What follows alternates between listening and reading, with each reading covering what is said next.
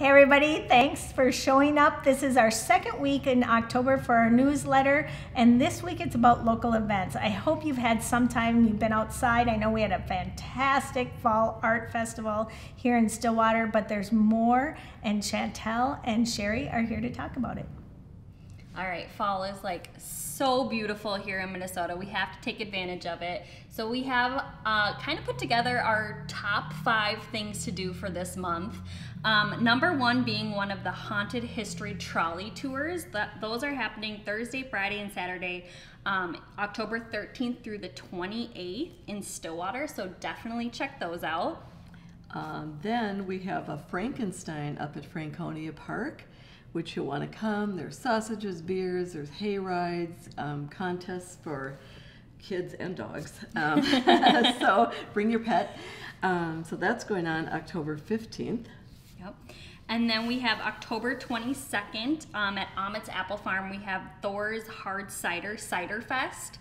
Um, so if you haven't had Thor's Hard Cider, highly recommend checking that one out. Super, super good. Then you want to come and see the Truen group as trick-or-treating goes on Main Street. So we are all going to be dressed up and we'll be out there welcoming you and your little goblins. Yes, and if you have never come downtown trick-or-treating, it's so fun and we put on a show so definitely come check us out. And it's also really great i mean halloween's on a monday this year so if you're not interested in bringing your little one out on a monday night the downtown trick-or-treating is an awesome place to be. Almost all of the merchants hand out candy and main street is just it's just really fun because there is trick-or-treaters all over so come down you can dress up too. Yeah.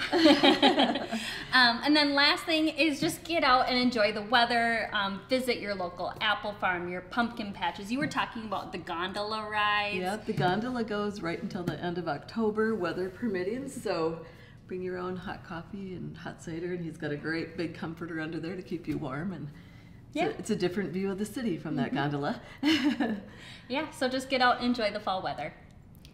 So hopefully you made a list of things for you to do and get outside and enjoy this weather while we are having good weather here in Minnesota and western Wisconsin. But I especially, because this is one of our favorite times, want to remind you to come downtown Stillwater on the 29th when there's trick-or-treating and our whole team will be dressing up. I can't wait to see us.